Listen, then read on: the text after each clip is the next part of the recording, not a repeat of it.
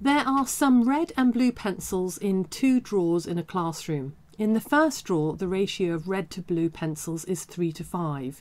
In the second drawer, the ratio of red to blue is 3 to 1. Mr. Pettit moves 50% of the red pencils from the first to the second drawer.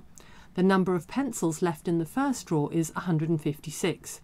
The ratio of the number of red to blue pencils in the second drawer is now 13 to 3. And we're asked how many pencils were in the second drawer at the end. So, quite a lot going on. We've got ratios, we've got um, two different situations, a change between them. So, it's the sort of question that's really quite perfect for a bar model um, because it will hopefully make very clear what's going on in what is otherwise a very wordy question. So let's have a look here. I'll grab my pencil and right, we are going to have draw one. Okay, let's just make that clearer. And I've got red and blue. What have I got for red? The ratio of red to blue is 3 to 5. Okay, so 3 to 5. Okay, that seems simple enough. And then let's do the second draw. Okay, the second draw, red to blue. And what have we got? In the second draw, the ratio of red to blue is 3 to 1. Okay.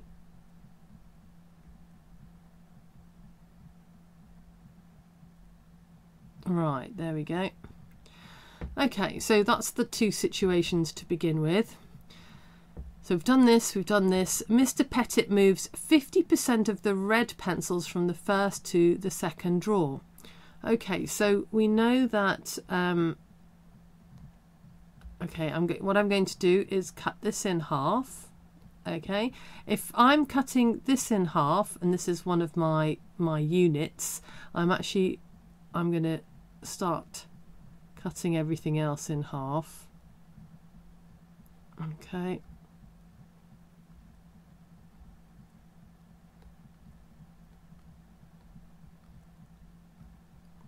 And half, let's shade that in, is going to be, there we go, that's three of those.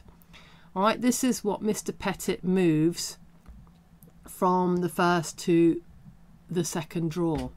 Okay, but we don't know um, these these portions are not equal to to these, so I don't know how this is going to fit in here yet. What else am I told? Okay, the number of pencils left in the first drawer is 156. Okay, so let's have a look. I'm going to, let's say, so this is what's left in the first drawer. Okay, and the total of that is 156. Um, okay, so and I've got all these equal size portions. All right, so we've got um, two, four, 6, 8, 10, 12, 13. Okay, so 156 divided by 13. And that means that each of these portions, okay, has a value of 12. All right, there we go. So each of these, each of these is 12. Okay, right. So what does that tell us? Well, we then know that this bit here, okay, is 36. So we know where 36 red pencils are or were moved to the second drawer. Okay, well, where are we now? We can't just add them on here because these portions are not necessarily the same size as these ones. So we, let's look at what else is going on in the information. So after these pencils are moved, the ratio of the number of red to blue pencils in the second drawer is now 13 to 3. Okay, so what I'm going to do here then is I'm going to change, I'm going to subdivide this. So this is now in thirds. These are, there's three equal portions here.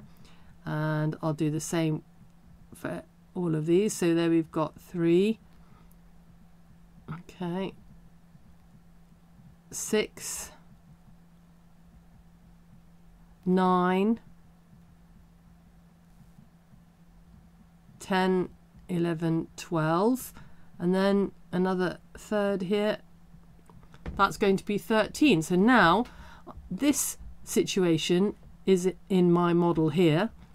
Okay, and I've now got 13 to 3. Now what did I add? This is what I had to begin with. Okay, and these four here are what have are the ones that have been added.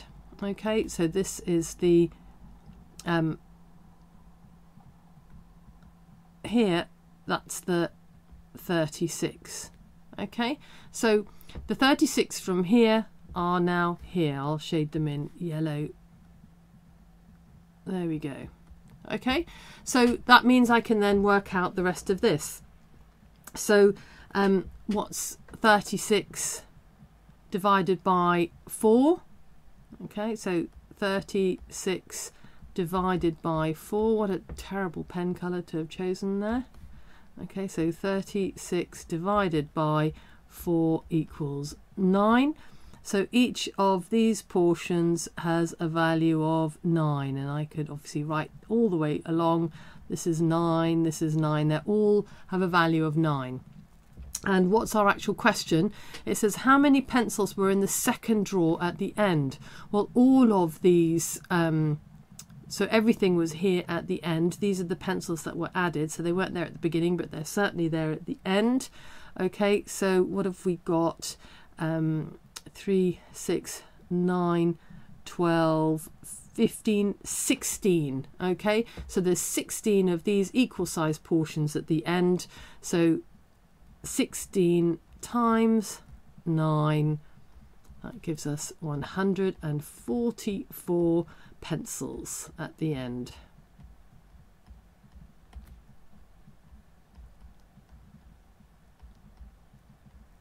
Okay.